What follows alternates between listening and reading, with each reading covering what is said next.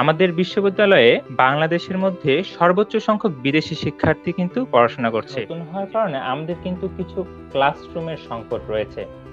তবে প্রথম বর্ষে এসেই হয়তো একজন শিক্ষার্থী শুরুতেই নাও পেতে পারে কারণ এখানে নতুন একটা পরিবেশে এসে তো কাউকেই সে চিনবে না। নতুন ডিপার্টমেন্ট হিসেবে অন্যান্য যে বিশ্ববিদ্যালয়গুলোতে নতুন অবস্থায় ডিপার্টমেন্টগুলো খোলার যে অবস্থাটা ছিল সেই তুলনায় আমরা বেশ এগিয়েই আছি। তাহলে প্রথম বর্ষের শেষের দিকেই হলে উঠতে পারবে। আসসালামু আলাইকুম সবাইকে। গুচ্ছভুক্ত যে বাইশটি বিশ্ববিদ্যালয় আছে সে বাইশটি বিশ্ববিদ্যালয় নিয়ে রিভিউ পড়বে আজকে আরেকটি পড়বে আপনাদের প্রত্যেককে স্বাগত জানাচ্ছেন আজকে আমরা কথা বলব হাজি তানিশ বিজ্ঞান ও প্রযুক্তি বিশ্ববিদ্যালয় নিয়ে এবং হাজি তানিশ বিজ্ঞান ও প্রযুক্তি বিশ্ববিদ্যালয় নিয়ে আমার সঙ্গে কথা বলার জন্য যুক্ত হয়েছেন হাজি বিজ্ঞান ও প্রযুক্তি বিশ্ববিদ্যালয়ের একজন শিক্ষার্থী।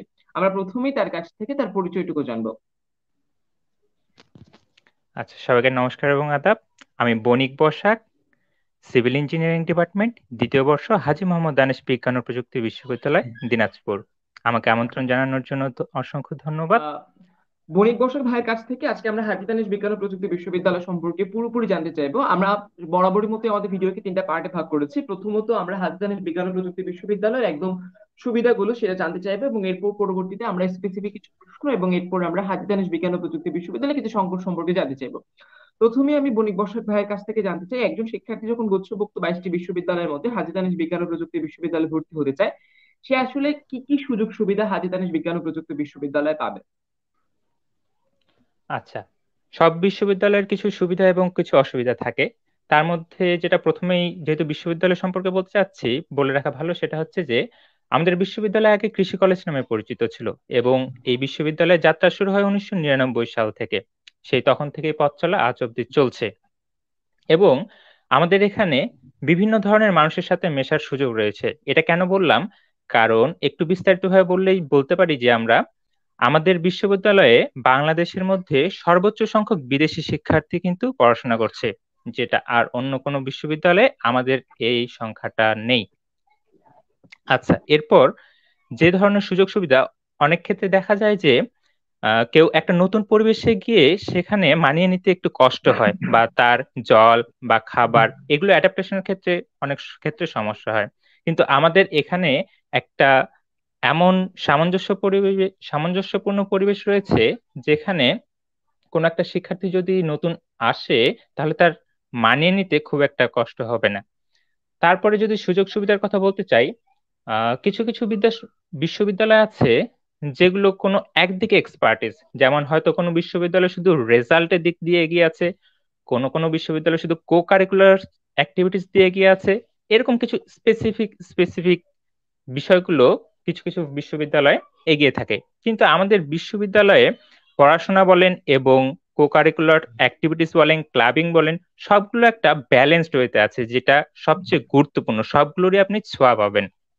তাই কোনোটা ল্যাকিংস হ্যাঁ ল্যাকিংস তো সবকিছুরই, সব বিশ্ববিদ্যালয়ে থাকে, তবে মোটামুটি একটা ব্যালেন্সড ওয়েতে আছে সবকিছু মোটামুটি।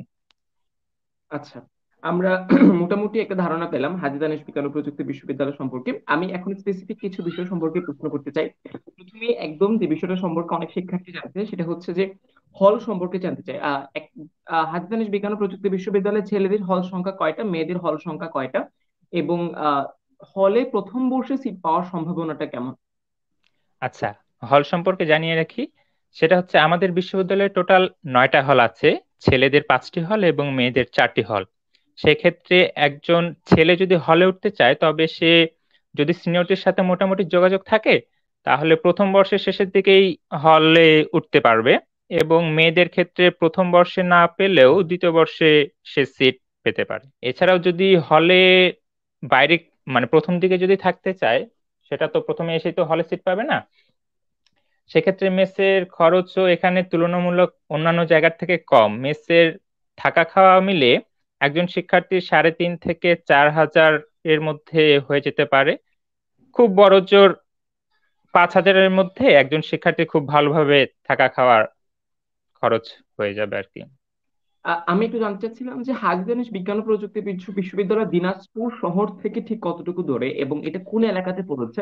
এবং শিক্ষার্থীরা আসলে কি দিনাজপুর শহরে থাকে নাকি ওই এলাকার আশেপাশেই থাকে? আচ্ছা আমাদের বিশ্ববিদ্যালয়টি দিনাজপুর শহর থেকে প্রায় দশ কিলোমিটার দূরে, ঠিক আছে? এখানে আমাদের শহর এবং বিশ্ববিদ্যালয় এলাকার যে থাকার পরিবেশটা কিছুটা প্রায় একই এবং দুইটার ক্ষেত্রেই সুবিধা অসুবিধা আছে। সেটা হচ্ছে যে যারা বিশ্ববিদ্যালয় এলাকার পাশেই থাকে তাদের জন্য ক্লাসে রেগুলার যেতে যাওয়া আসা ক্লাসের মাঝখানের সময়গুলোতে তারা ইউটিলাইজ করতে পারে। এবং যারা শহরে থাকে তাদের জন্য আমাদের বিশ্ববিদ্যালয় থেকে পর্যাপ্ত বাস ব্যবস্থা আছে এবং সেগুলো ব্যবহার করে একজন শিক্ষার্থী খুব সহজেই যেহেতু দশ কিলোমিটার পথ তো খুব একটা বেশি দূরে না তাই বিশ্ববিদ্যালয়ে বাসে করে তারা রেগুলারই শহর থেকে যাতায়াত করতে পারে। এক্ষেত্রে খুব একটা সমস্যা হয় না। বাহ আমরা মেস সম্পর্কেও মোটামুটি একটা ভালো ধারণা পেলাম হল সম্পর্কেও ধারণা পেলাম। আচ্ছা আরেকটা প্রশ্ন যেটা সেটা এক করতে চাই সেটা হচ্ছে যে দিনাজপুরে বিশ্ববিদ্যালয়ের যে এলাকাটা পড়েছে ওই এলাকাটার নামটা আসলে কি? আচ্ছা এটা হচ্ছে আপনার বাসেরহাট যে এলাকায় বিশ্ববিদ্যালয়টি পড়ছে সেই এলাকার নাম বাসেরহাট আচ্ছা শিক্ষার্থীরা তো বাসেরহাট এলাকাতেই থাকে। জি জি। আচ্ছা, ঠিক আছে। আমার কাছে মনে হয় শিক্ষার্থীদের মনে একটা প্রশ্ন থাকতে পারে, এটার জন্য জিজ্ঞেস করলাম। দ্বিতীয় যে গুরুত্বপূর্ণ প্রশ্নটা, সেটা হচ্ছে দিনাজ দিনাজপুরের আপনাদের হাজী তানিশ বিজ্ঞান ও প্রযুক্তি বিশ্ববিদ্যালয়ে সেশন আছে কিনা কোনো ডিপার্টমেন্টে সেশন জট বলতে কি ভাইয়া তেমন সেশন জট নেই, তবে করোনার জন্য প্রায় প্রতিটা বিশ্ববিদ্যালয়ে কিছুটা সেশন জট হয়ে গেছে। সেটা কাটিয়ে মানে কাটিয়ে ওঠার ক্ষেত্রে অনেকটা অগ্রসর। তবে করোনা পরবর্তী যে ব্যাচগুলো সেগুলোতে সেশন জট নেই বললেই চলে। আমরা আরেকটা বিষয় সম্পর্কে জানতে চাই সেটা হচ্ছে যে তানিশ বিজ্ঞান ও প্রযুক্তি বিশ্ববিদ্যালয়ের শিক্ষার্থীদের টিউশনের সুবিধা কেমন? এবং যারা বিশ্ববিদ্যালয় এলাকাতে থাকে তারা কেমন টিউশন পায়? এবং যারা শহরে থাকে তাদের টিউশনের সুবিধা কেমন? প্রথম বর্ষে টিউশন পাওয়ার সম্ভাবনা কেমন? আচ্ছা এক্ষেত্রে বলে থাকি টিউশন এখানে অন্যান্য জায়গার থেকে মোটামুটি এভারেজ কোয়ালিটির পাওয়া যায়। তবে প্রথম বর্ষে এসেই হয়তো একজন শিক্ষার্থী শুরুতেই নাও পেতে পারে, কারণ এখানে নতুন একটা পরিবেশে এসে তো কাউকেই সে চিনবে না। তো যদি তার পূর্ব পরিচিত কেউ থাকে, তবে সে সিনিয়রদের সাথে কানেকশন করে মোটামুটি টিউশনই পেতে পারে। আর যেটা কথা হচ্ছে যে, যেহেতু ক্যাম্পাস থেকে দূরে একটু শহর যে দশ কিলোমিটার, তাই যারা শহরে থাকে তাদের ক্ষেত্রে টিউশনিটা একটু সুবিধা হয় যেটা আমি প্রথমে বললাম যে শহরে থাকা আর ক্যাম্পাস এলাকার থাকা দুটোর ক্ষেত্রে কিছু সুবিধা অসুবিধা থাকেই আসলে। আচ্ছা তা এখানে আসলে মোটামুটি সিনিয়রদের সাথে যদি যোগাযোগ থাকে তাহলে টিউশনি পাওয়া যায় এবং কেউ কেউ বলে যে এখানে টিউশনির রেটটা একটু কম। এই সম্পর্কে আমি বলতে চাই যে যে এখানে টিউশনির রেটটা আসলে কম ঠিক আছে কম ঠিক না এভারেজ কিন্তু সেই অনুযায়ী আমাদের এখানে দিনাজপুরের যে চলাফেরার যে এক্সপেন্সটা খরচটা সেটাও কিন্তু কম। এদিক দিয়ে যদি আপনি বিবেচনা করেন যে ঢাকায় যদি আপনি একটা টিউশনি বেশ ভালো অঙ্কের পেলেন কিন্তু আপনার কিন্তু সেখানে যাতায়াত বা এক্সপেন্স বা সময় এগুলোতেও কিন্তু অনেক সময় অপচয় হয় এবং বাড়তি এক্সপেন্স হয়। সেদিক থেকে তুলনা করলে। আমার মনে হয় যে এখানকার টিউশনি এবং যে খরচ এই দুটোর মধ্যে মোটামুটি বেশ সামঞ্জস্য রয়েছে। আমি একটু জানতে চাচ্ছি হাজী বিজ্ঞান ও প্রযুক্তি বিশ্ববিদ্যালয়ের ক্লাব সংখ্যা কেমন? এবং সেই ক্লাবগুলোতে আসলে শিক্ষার্থীদের নেটওয়ার্কিং এর মানে সুযোগ সুবিধাগুলো কেমন?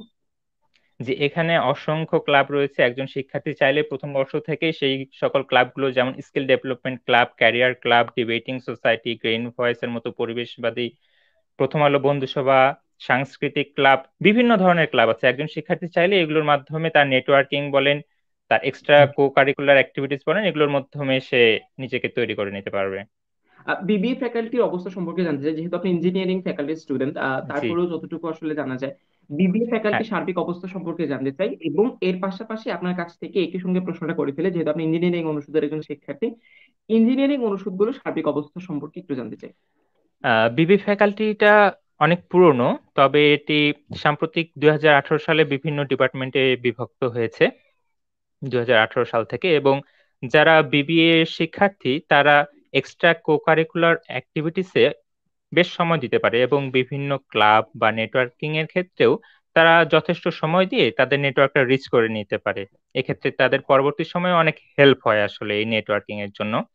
আর ইঞ্জিনিয়ারিং ফ্যাকাল্টি যদি বলি, তাহলে ইঞ্জিনিয়ারিং ফ্যাকাল্টিটাই আমাদের এখানে দুই পনেরো সালে খোলা হয়েছে। সেই হিসেবে আমরা হচ্ছি সিভিল ইঞ্জিনিয়ারিং ডিপার্টমেন্টের সপ্তম ব্যাচ যদিও সপ্তম ব্যাচ এক্ষেত্রে আমাদের কিছু সীমাবদ্ধতা আছে। তারপরেও নতুন ডিপার্টমেন্ট হিসেবে অন্যান্য যে বিশ্ববিদ্যালয়গুলোতে নতুন অবস্থায় ডিপার্টমেন্টগুলো খোলার যে অবস্থাটা ছিল, সেই তুলনায় আমরা বেশ এগিয়েই আছি এবং আমাদের ইতিমধ্যে তিনটি ব্যাচ বের হয়ে গিয়েছে এবং তারা কর্মক্ষেত্রে বেশ ঈর্ষণীয় সাফল্য রাখছে। বাহ আমার কাছে মনে হয় যে আমরা অনেকগুলো বিষয় সম্পর্কে জানতে পেরেছি। আমার স্পেসিফিক প্রশ্নের সর্বশেষ প্রশ্ন সেটা হচ্ছে যে হাজি দানেশ বিজ্ঞান ও প্রযুক্তি বিশ্ববিদ্যালয় থেকে শিক্ষার্থীদের অ্যাব্রোডে বা বাহিরে পড়াশোনা করতে যাওয়ার প্রবণতা কেমন? এবং শিক্ষার্থীরা আসলে বিশ্ববিদ্যালয় থেকে কি ধরনের সেমিনার বা এই সুযোগ সুবিধাগুলো পেয়ে থাকে? হ্যাঁ এই ধরনের বিভিন্ন সেমিনার বা সভা আয়োজন করা হয়ে থাকে। তবে বাহিরে যাওয়ার হারটা একটু কম। একটু কম বললেও তারপরেও যেটা বলব যে লাস্ট আমাদের যেই ব্যাচটা বের হয়েছে আমাদের ডিপার্টমেন্ট থেকে এবারই একজন ভাই মালয়েশিয়া যাচ্ছে এবছরেই লাস্ট বছর বের হয়েছে। তার তুলনামূলক যাদের আর কি এটা আসলে কি মানে নিজের ইচ্ছের উপর কারও কারও এটা প্রি প্ল্যানিং থাকে আর কি যে অ্যাব্রোডে যাবে। তারা মানে কারও যদি প্রি প্ল্যানিং থাকে তাহলে সে প্রথম থেকেই সে অনুযায়ী পড়াশোনা করে অবশ্যই সে মানে বিদেশে যাওয়ার সুযোগ রয়েছে। আচ্ছা আমরা অনেকগুলো বিষয় সম্পর্কে বণিক বসুর ভাইয়ের কাছ থেকে জানতে পারলাম। আমার মোটামুটি প্রশ্নের জায়গা শেষ। একটা বিষয় জানতে চাই, সেটা হচ্ছে যে বাংলাদেশের প্রায় প্রতিটা বিশ্ববিদ্যালয়ে কিছু না কিছু সংকট তো অবশ্যই থাকে। তো হাজী বিজ্ঞান ও প্রযুক্তি বিশ্ববিদ্যালয়ের কিছু সংকট সম্পর্কে জানতে চাই, যেগুলো শিক্ষার্থীরা আগে থেকে জেনে আসলে আপনার কাছে মনে হয় যে ভালো। আচ্ছা সংকট বলতে আমাদের যেহেতু ইঞ্জিনিয়ারিং ফ্যাকাল্টির কথাই বলি আমি, যে নতুন হওয়ার কারণে আমাদের কিন্তু কিছু ক্লাসরুমের সংকট রয়েছে। তবে ইতিমধ্যে আমাদের একটি দশতলা ভবন নির্মিত হয়ে গেছে যেটি শুধুমাত্র চালু হওয়ার অপেক্ষায়। এই ভবনটি চালু হলে আশা করি আমাদের এই ক্লাসরুমের সংকটটিও আর থাকবে না। ওভারঅল মোটামুটি একটা ভালো পজিশনে আর ঠিক তেমন কোনো মানে এক্সট্রা সংকট নেই। নর্মালি এদিক ওদিক তো আসলে হয়।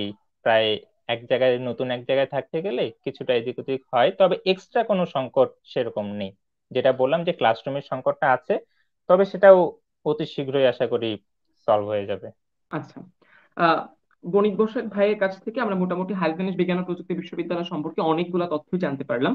আহ বণিক বসাক ভাই আপনাকে অসংখ্য ধন্যবাদ আপনার ব্যস্ততম সময় থেকে আমাদেরকে সময় প্রদান করার জন্য। আমরা আমাদের আপনাকে এই রিভিউ ধন্যবাদ ভাইয়া। আহ ধন্যবাদ ভাইয়া। আমরা আমাদের আজকের এই রিভিউ পর্বটা এখানেই শেষ করছি। দেখা হবে নতুন কোনো কন্টেন্টে নতুন কোনো বিশ্ববিদ্যালয় নিয়ে। যদি আপনার এই ভিডিওটি ভালো লেগে থাকে, তাহলে চ্যানেলটিকে সাবস্ক্রাইব করে রাখতে পারেন। আপনার যদি প্রথম এবং দ্বিতীয় বর্ষের একজন শিক্ষার্থী হয়ে থাকে এবং প্রথম এবং দ্বিতীয় বর্ষ সম্পর্কে একটা সুপার গাইডলাইন পেতে ইচ্ছুক হয়ে থাকেন, তাহলে চ্যানেলটিকে সাবস্ক্রাইব করে রাখতে পারেন। ইনশাআল্লাহ নতুন নতুন ভিডিও আসবে। দেখা হবে নতুন কোনো ভিডিওতে নতুন কোনো কন্টেন্টে সে পর্যন্ত ভালো থাকবেন। আসসালামু আলাইকুম।